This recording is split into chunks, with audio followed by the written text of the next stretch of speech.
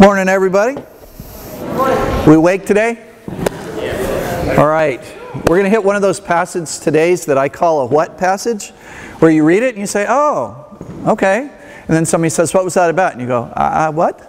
Um, so, today we talk about forgiveness. And our text is going to be from Luke 17.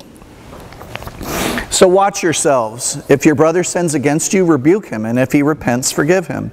Even if he sins against you seven times in a day, and seven times comes back to you saying, I repent, you must forgive him. The apostles said to the Lord, Increase our faith. He replied, If you have faith as small as a mustard seed, you can say to this mulberry tree, Be uprooted and planted in the sea, and it will obey you. Suppose one of you has a servant plowing or looking after the sheep. Will he say to the servant when he comes in from the field, Come along now and sit down to eat? Won't he rather say, Prepare my supper, get yourself ready, and wait on me while I eat and drink, and after that you may eat and drink? Will he thank the servant because he did what he was told to do? So you also, when you have done everything you were told to do, should say, We are unworthy servants. We have only done our duty. This is a, a passage that often gets uh, taken apart and used actually in other contexts. And there's a lot of, you know, the faith of the mustard seed, and you can buy the little vial that's got the mustard seed in it and wear it around your neck and all those kind of things. But I think you have to keep it in the passage to figure out what is this thing talking about. So it can be a very difficult passage to understand, but the, the principle in it is this. If this idea is not firm in your head, and in your heart, it makes it very, very hard to live out the Christian life. Because everything in the world says that this is foolishness. When I'm wronged, I get revenge, I get him back. You go to the movies and the bad guys get shot, and we feel good about it.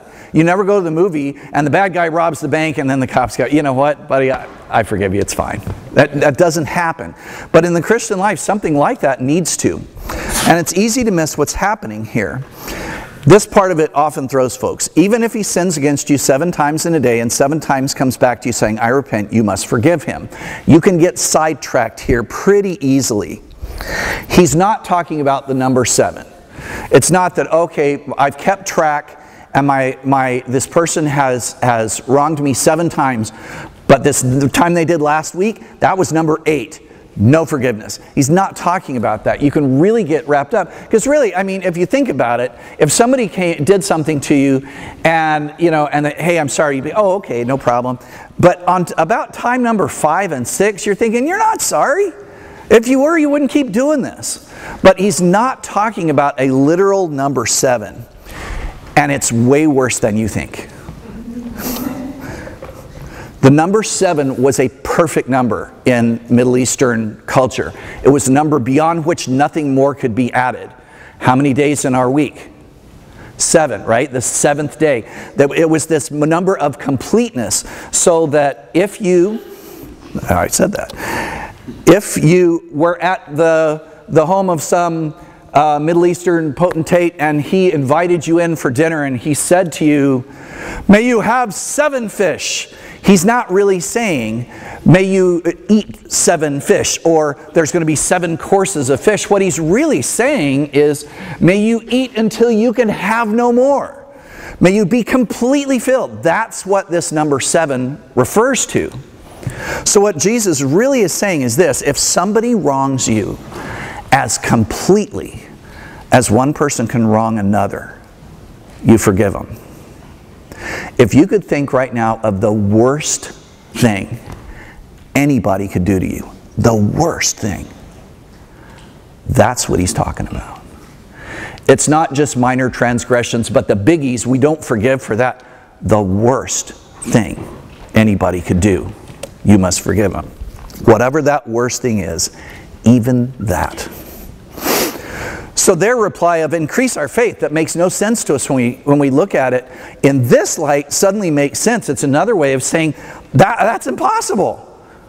Jesus has just said to him, the worst thing anybody could do, you have to forgive him even for that. There, there's no way. I, who, could, who could ever do that? Who could ever forgive on that scale? I don't have the faith to do that. So the size of the challenge that Jesus gives us is huge. You know, if you think about that, it's huge. If somebody murders your parents, if somebody murders your brother or your sister, Even that. The size of the challenge is huge. But we can't turn away from the size of the challenge because of the size of the danger. We're going to take a little bit of a, a, word study for a moment. Four Old English words, all from the same Anglo Saxon root wrath, wreath, writhe, and wraith. So, what is wrath? Well, it's an old time word for anger, but it's, it's more than that. What is a wreath? Well, it's, it's flowers or it's, or it's uh, branches or something that have been twisted into a shape. What is it to, the, to writhe? That's, that's to be so in pain that you, you twist on the ground. And so you begin to see it that wrath is not just anger, but it's anger that twists you. And wraith is probably one you're least familiar with. It's an, an, an old term for a kind of a ghost, and a very specific kind of ghost. It was the kind of ghost who had been wronged and could never forgive what had happened to them, and so they're destined to relive that and haunt the place wherever it happened. It's, it's this ghost that's eternity is completely controlled by its past. And you begin to see it that it's it, this is what anger does to us. This is what unforgiveness does to us is that it twists you. It changes you. It makes you more callous. It makes you more exacting. It makes your heart harder. And that's where it comes. And the danger is huge as we look at it so that's why jesus starts this discussion, uh, discussion in verse 3 with this so watch yourselves what really happens when somebody does you wrong you don't pay attention to yourself, you pay a lot of attention to them. Right? That's how it comes out. But Jesus is telling you when somebody wrongs you, alert. You're the one that's in danger. What do we typically do? Well, we reduce that person to what they did. You know, somebody lies, that person over there, he's just a liar. You know, or it's worth, he's just a liar. You know, it's, it, it's that we reduce them to what they did. But what about when it's us? Well, okay, I know I shouldn't have done it. I, I, you, you caught me in this lie, but it's complicated. You know, that's how we deal with it. You know, that person over there, he's just a liar. But when it's me, well, you know, there's this circumstance and that, and I, you know, I know I shouldn't have, but see, this was happening, and I had to we've got all kinds of excuses for it. We start rationalizing, but that person over there, that's all they are. They're just a liar. So you're this complex human being with all these facets, and they're a cartoon villain. They're somebody that's not complex. They're not a human being, they're just a liar. Miroslav Volf uh, wrote a book about forgiveness, and this is a quote from his book Forgiveness flounders because I exclude the enemy from the community of humans, even as I exclude myself from the community of sinners. That's where our unforgiveness comes from. It's this idea that, well, I, I would never do that. Well, you might not do exactly that, but you're capable of it. Every one of us is.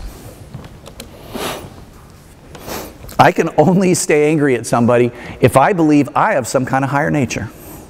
That person over there, they're just a liar, or they're just a thief, or they're just whatever.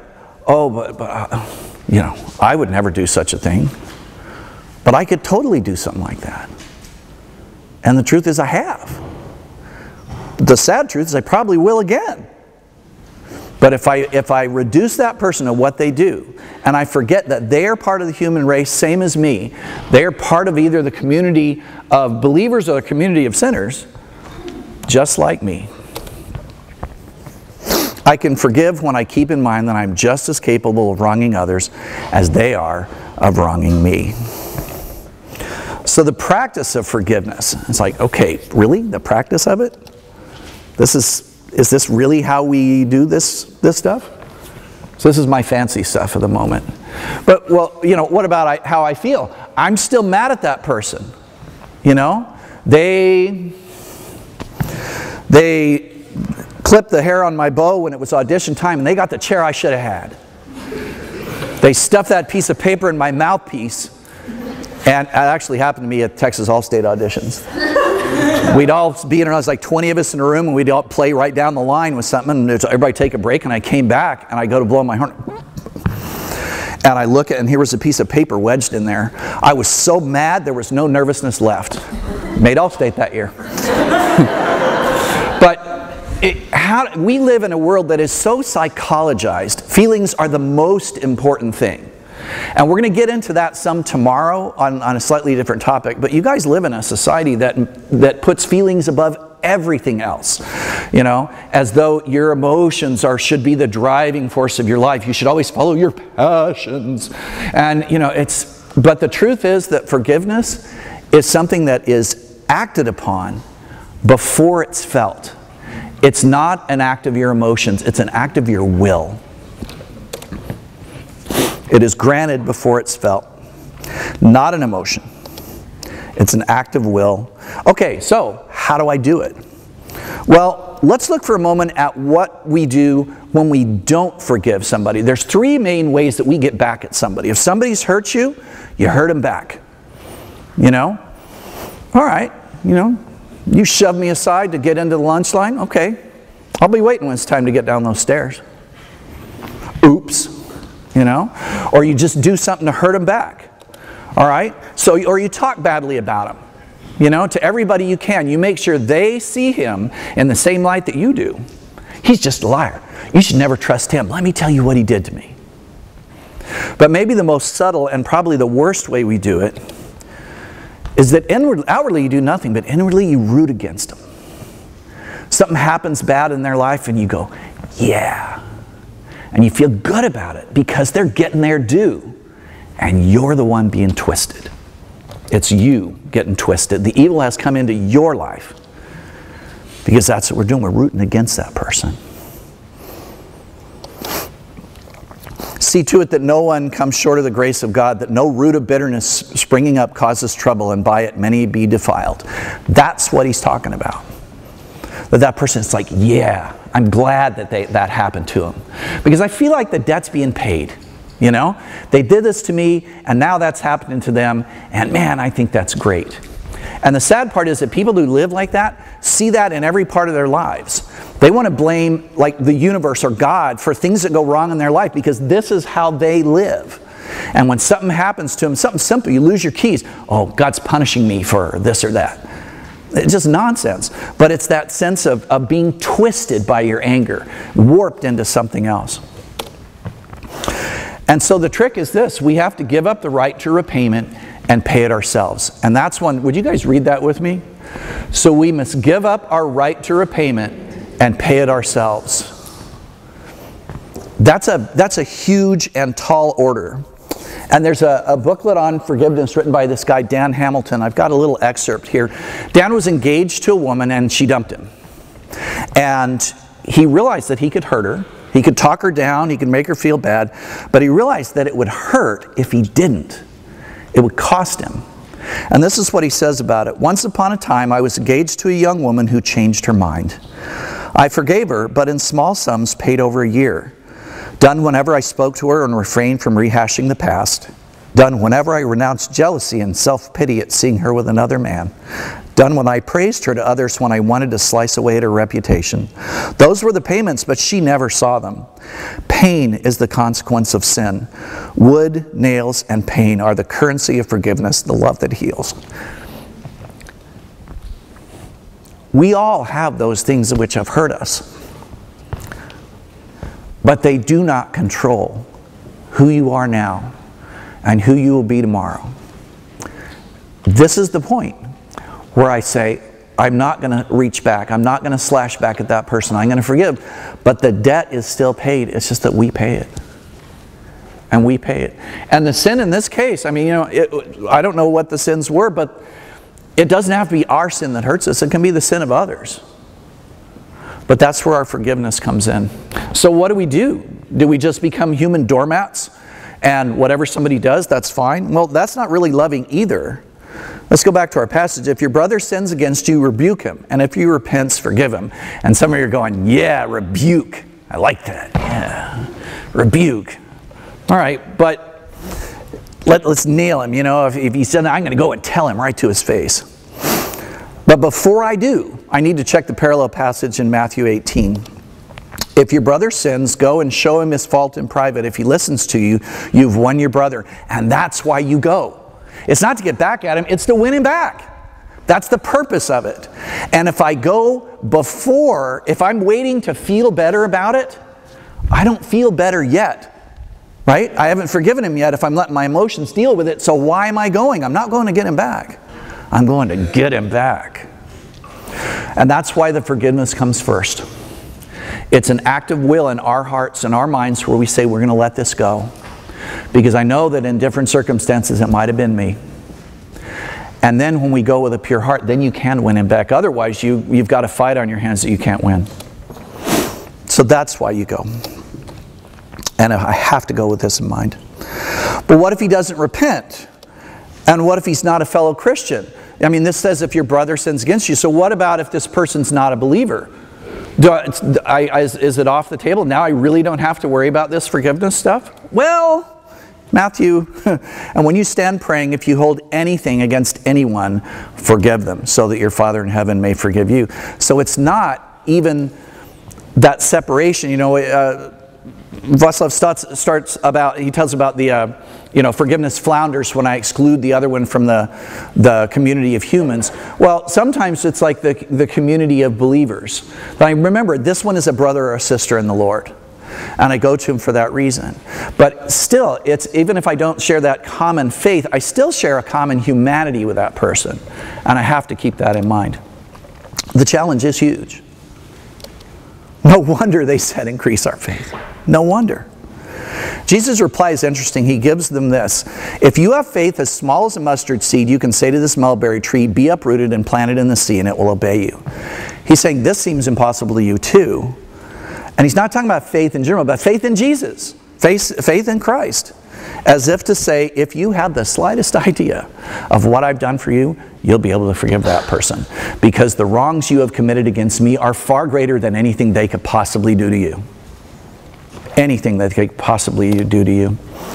So, to put it all into perspective, he gives them a metaphor and he gives them a parable before that.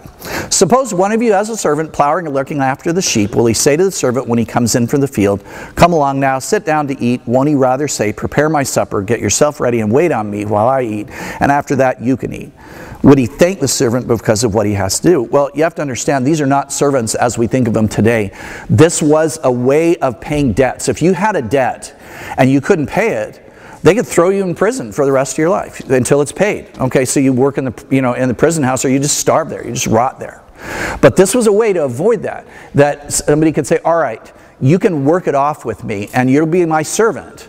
And when the debt's paid, then you're, then you're off. But the deal is, until that debt is paid, you're on the clock. It's not that the master has given the servant, uh, you know, the servant is not doing a favor for the master. The master is doing a favor for the servant. He's saying, This I will not throw you in prison, I'll let you do this instead. And in the meantime, you get to eat good food, and you have a nice house over your head, and you can do all these kind of things, and I will do this for you. So it's not that the servant is doing a favor at all. It was a way of paying a debt. So the servant should be thanking the master, not the other way around. It's the case of the servant acting like a king. Look what I've done for you. Shouldn't you be happy with me now? And Jesus then flips around on him. He's like, you know, if you had a servant, how'd you be? He says, so you.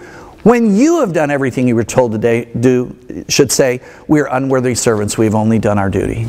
And they're saying, how, how could I possibly forgive like this? And he's saying, this is just this is your, your duty as a servant. This is all there is. Don't think too much of ourselves when we forgive. You have to keep it in perspective. And the only way to keep myself from being a servant who acts like a king is to know the king who acts like a servant. This is the heart of it. This is where forgiveness comes from, is putting in mind what God has done through his son for us. The wrongs I've committed against my Heavenly Father are, would far outweigh anything somebody could do to me. Because anything that they do to me is transitory. What I've done to Him is eternal. And He loves me anyway, and He forgives me anyway. Wow. Forgiveness is what heals us from the wounds that others inflict upon us. There's an interesting um, video making the circuits on the, the internet right now of a woman who was an Auschwitz survivor. She was a young girl when she went there, and she, she managed to survive. And she talks about meeting up with one of the doctors from there and how she came to forgive him and actually wrote a letter of forgiveness to this guy who was one of the doctors under Mengele at Auschwitz. And the other survivors were angry at her for it. How could you possibly forgive him? They needed to keep that alive and kind of replay it in their minds, and she was ready to go on with her life. And it's a fascinating video to, to listen to this woman explain how she came to forgive a Nazi torturer in a concentration camp that tortured her and her sister until her sister died, and they murdered all the rest of her family. She was the only survivor. And it's, it's a fascinating thing. Lewis Smedes says it this way to forgive is to set a prisoner free and to discover that the prisoner was you. It's a huge challenge, guys. And I understand that this is deep water, and it probably goes against everything that the world is. I know it goes against everything the world will ever tell you. Because that, the world tells us, get them back. Bide your time, but you'll get them back sometime. Everything you see when you go to the movies is based on that same thing. Bad guy does something, and the good guys get him back, and they gun down all the other bad guys and all that kind of stuff. I mean, it's, it is so ingrained in human nature. Revenge is not a thing that ever has to be taught. Ever has to be taught. You can ask any of the parents in the room who have young children, any of them. They, that's not something that has to be taught. They lash out when something doesn't go their way or somebody takes that thing from them, they will lash out. That's our human nature. That's easy. What Christ demands from us is something completely different. Would you guys pray with me? Father, we understand that this is a gigantic challenge. But Father, we, we understand that what you did for us is far bigger than anything we could do for somebody else. And even, even that most terrible thing that someone could do to us, even that in light of your sacrifice for us, we can forgive that. I pray, Father, that you will let everybody here mull this over and ponder this in their hearts so that this forgiveness might be a characteristic that's evident to everyone in their lives. Thank you for your sacrifice. Thank you for your gift of your Son. In His name we pray, amen.